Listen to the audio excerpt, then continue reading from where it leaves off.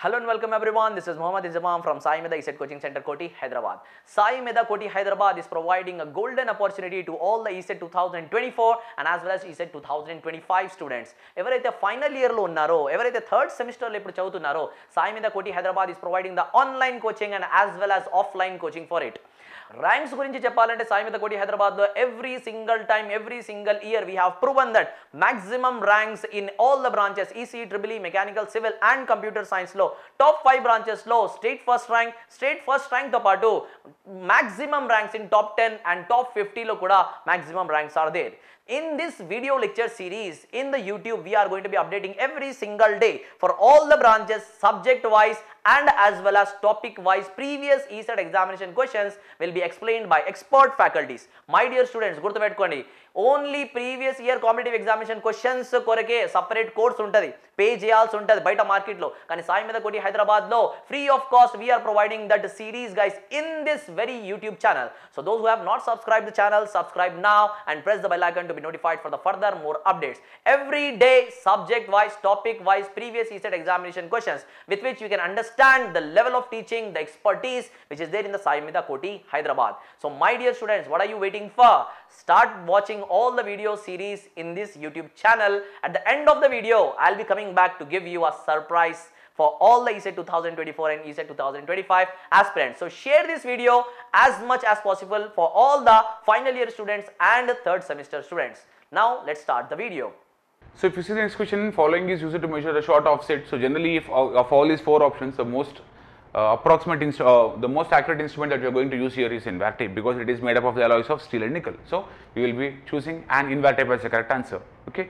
Moving further, which of the following is obstacle to chaining but not ranging? So for chaining, obstacle to chaining but not ranging again a water body will be coming into picture so river will be the answer okay because in river we can't chain the length of a line measured 20 meters chain was found to be 400, uh, 400 uh, inches. 20 inches chain, fine. It was observed that the chain is 10 centimeters too long, the true length of the chain is dash. So again, so true into true is equals to false into false kind of thing, right? So the true length of the chain is 20 inches into the true distance. I am supposed to find out is, uh, uh, I am leaving as it is because he is asking us to find out the true length, right? So what is the false length here? false length that was measured here is uh, 400 inches 400 inches into what is a false uh, right uh, so what is the false length of the chain? So that's what we are supposed to find that that is 10 centimeters too long so this is 20 inches so if you observe so he has given in terms of inches here. So he has given in terms of inches here so i'll be uh, solving this more clearly. So if you use this relation true into true is equals to false into false okay? So one true is for the chain where the chain is having 20 inches of length okay? So this is 20 inches okay? Into true distance that we have to that he has measured here is uh, that's what we are supposed to find out is equals to what is the false length of the chain here? So false length of the chain is here 20 inches minus 10 centimeters. It is uh, too long right? So plus uh, 10 centimeters okay? Times of uh, the true length uh, the true distance you have measured here is uh, 400 inches 400 inches okay? Fine. So from here i have to find out the true distance here. So true distance is equals to 20 inches plus 10 centimeters okay times of 400 inches upon this 20 inches 20 inches. So 20 goes uh, 2 times here 22 is 40 so uh, 200 times. 20 20 is uh, 2 to 4 400 yeah yeah so fine. So here the point is here i need to convert this so as uh, i'll be easily able to uh, form an answer here so 20 20 is 400 400 inches plus 10 centimeters which will be obviously which will be obviously above 400 so above 400 the only option that is above 400 is uh, 402 meters. The only answer that is above to uh, above 400 is 402 meters.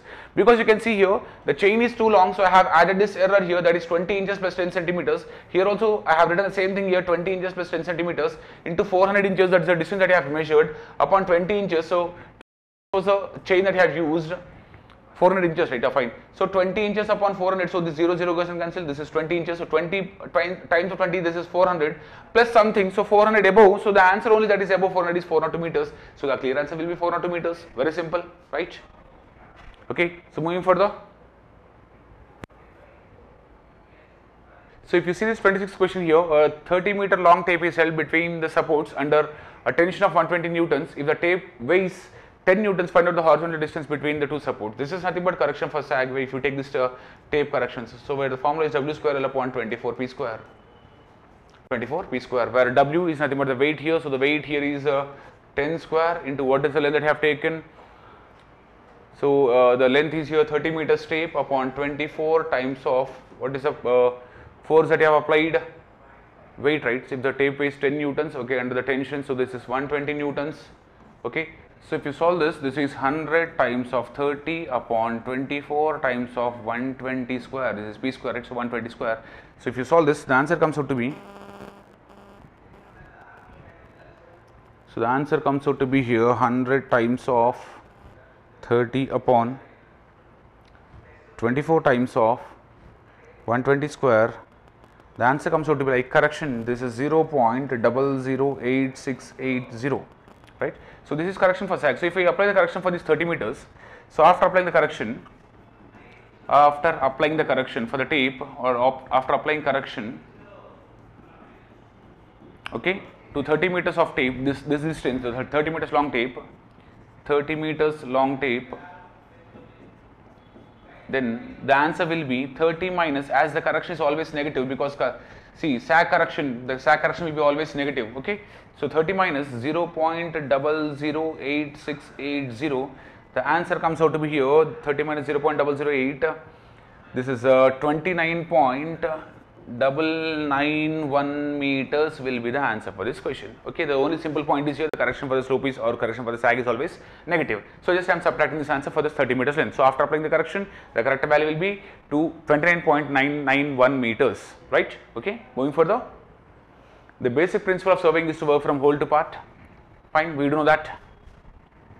The example of obstacle to ranging but not uh, chaining. So where this is uh, uh, not arranging the example of obstacle to ranging here. Ranging but not chaining so where it will be difficult here that means where we will we won't be able to range here. Whenever an hill type of structure comes here we won't be able to see the other end. So the hill will be the correct answer because pond here chaining is not possible river chaining is not possible martial and chaining is possible ranging is also possible but a hill structure we won't be able to range. Okay moving further. Systematic errors in surveying uh, systematic errors in surveying or they are always cumulative they are always cumulative because systematic errors are nothing but the instrumental errors okay? So they, uh, they they will be cumulative either in terms of positive or either in terms of negative. So we can't call always positive or we can't call always negative or this can't be compensated. They can be only cumulative. They will be moving only in a particular direction. Moving here which of the following is a larger scale? So here a few uh, scales were given here. This is 1 centimeter upon 50 meters. If you convert this 1 centimeter upon 50 meters this 50 meters i am multiplying with i am converting this into centimeters centimeter centimeter goes and cancel. Here the value will be 1 upon 5000 the very first value. The second is uh, 1 upon 42000 the third value that is 1 centimeter upon 500 meters. 1 uh, centimeter upon 500 meters right? So nothing but again 1 centimeter upon 500 meters so 500 times of 100 centimeters just conversion. So here the value comes out to be 1 by 5 double zero double zero right? 500 right? Sorry 5000 he said 5000 1 centimeter upon 5000 meters. So one more zero will be there. So one more zero will be there. Okay? And the last value is here. One more value that is 1 centimeter upon 5 kilometers. 1 centimeter upon 5 kilometers. So this can be easily converted again. 1 centimeter upon converted kilometer to meters first. So 5 into 1000 so that this will be converted to meters and again to centimeters so centimeter centimeter goes and cancel here the value will be 1 by 5 times of 3 4 5 1 2 3 4 5 so here also 1 2 3 4 5 now the question is, uh, what about the larger scale? So larger scale will be having a smaller denominator. A larger scale will be having a smaller denominator. Denominator. So here, if you see this is a larger denominator, so this is not the correct answer. Larger denominator, no, not the correct answer. Larger denominator, no, correct, not the correct answer. So the smaller denominator is 1 upon 5000. So 1 upon 5000 is nothing but 1 centimeter is equals to 50 meters. Very simple, right? Very simple. Moving further. A 30 meter chain was found to be 20 centimeters too long after the chain after chaining 1500 meters distance. So very simple again here true into true is equals to false into false. Okay, one true length is for the 30 meters chain and we are supposed to find out the true distance where the false length of the chain is uh, 30 meters right. So yeah, false length of the chain is 30 minus 20 centimeter that is 0.2 meters. Okay times of 1500 meters. If you solve this you are going to get that answer. True distance is equals to 30 minus 0.2 this is 29.8 times of 1500 by 30 so this is 0 this is 3 5 15 so 50 times uh, 15 is this is by 10 so 0 0 goes and cancel so 298 times of 5 will be giving us the answer. 8 5 is 40 so if you solve this that I'll be telling you by calci so 298 times of 5 the answer comes out to be 1490 this is 1490 meters. So 1490 meters. Okay very simple right? Moving further. The principle of survey is to work from whole to part. Already we have seen multiple times. The type of surveying where the curvature of the earth has to be accounted here. That is nothing but geodetic surveying because in plane surveying no curvature is considered hydrographic surveying it is regarding a water body. No aerial surveys to estimate the loss or uh, when any kind of disaster happens. So this is also not the correct answer. So not plane not hydrographic. The correct answer is geodetic.